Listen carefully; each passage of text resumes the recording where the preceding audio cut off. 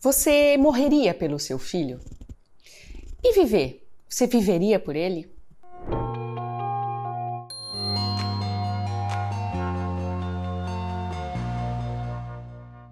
Provavelmente a maioria de nós aqui, se amanhã nosso filho tivesse um mal-estar súbito e fosse parar no hospital, e de repente o médico chegasse para a gente e falasse: para ele sobreviver, você precisa doar seu coração. Ele precisa do seu coração para continuar vivendo, para parar de sofrer, para parar de sentir dor.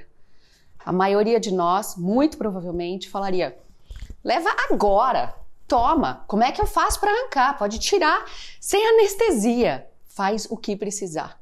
Isso não vai acontecer. Mas o que eu queria que a gente pensasse juntos hoje é o quanto nós conseguimos viver por eles. Porque é muito comum, e a maternidade me mostrou isso, que a nossa energia vital, que a nossa força de viver vá caindo conforme a nossa criação e o nosso dia a dia. Por quê? O que eu quero pensar com vocês hoje é: ah, será que a gente está disposto e consegue viver por eles? Porque os nossos filhos precisam muito da gente, precisam da gente com energia, disposição, alegria, para conseguir brincar, estimular, cuidar de uma maneira adequada. Só que o que, que vai acontecendo quando a gente tem filhos, tanto na maternidade quanto na paternidade? Principalmente paternidade e maternidade de crianças neurodivergentes, que têm autismo, que têm atrasos no desenvolvimento, que têm questões comportamentais, que têm déficit de atenção. Nós vamos nos cansando e nós vamos perdendo vitalidade. Nós dormimos mal, é até uma piada em, que se faz na sociedade, né? Que a mãe, que o pai sempre come os restos da comida, sempre come a comida fria depois de todo mundo sempre fica em segundo plano. Mas será que a gente pode reverter essa situação?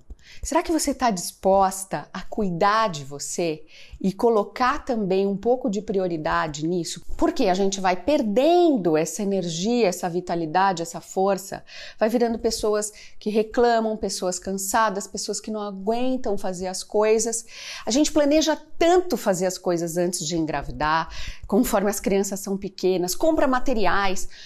Mas a hora que a gente vê nossos filhos já cresceram e a gente não conseguiu fazer nada direito. E o que, que a gente precisa então para viver por eles, para se sentir melhor? A gente precisa de cuidados. Cuidados com os cuidadores, cuidados com nós pais. Quanto você está disposto a parar bebidas alcoólicas? Quanto você está disposto a parar de fumar? A parar ou diminuir açúcar, farinhas refinadas, alimentos industrializados?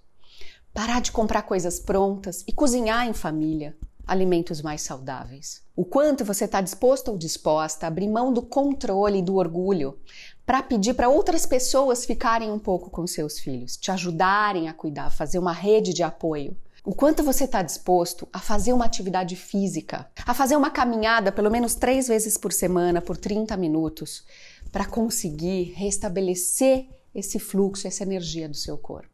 Eu entendo e sei o quanto vocês estão exaustos.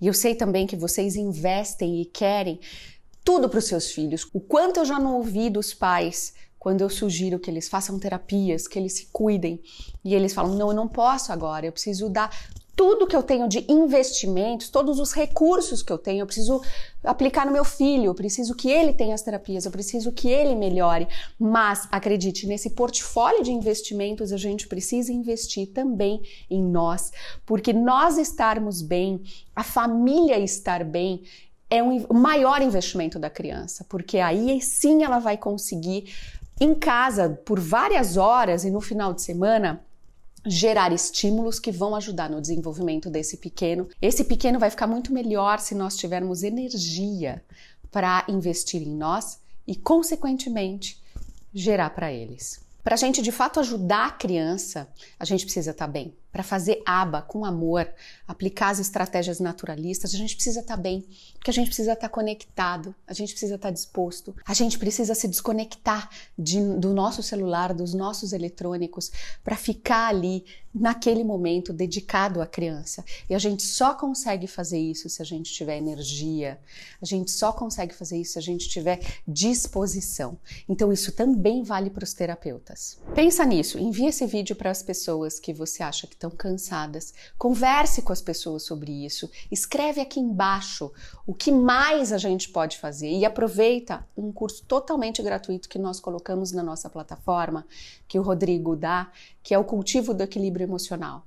É para ajudar as famílias e os terapeutas nesse processo para quem realmente quer ficar melhor, evoluir, porque o bem-estar, ele não vem sozinho. A gente precisa investir nele, a gente precisa buscar ele, a gente precisa fazer coisas para melhorar um pouquinho de grãozinho em grãozinho todos os dias e sair desse estado de cansaço crônico, de estresse crônico. Vamos juntos. Eu vou colocar o link aqui embaixo desse curso porque ele é totalmente gratuito. Todo mundo pode e deve fazer. Aproveita que você foi ali embaixo e dá um joinha para eu saber se isso é importante para você. Um beijo grande e até o próximo vídeo.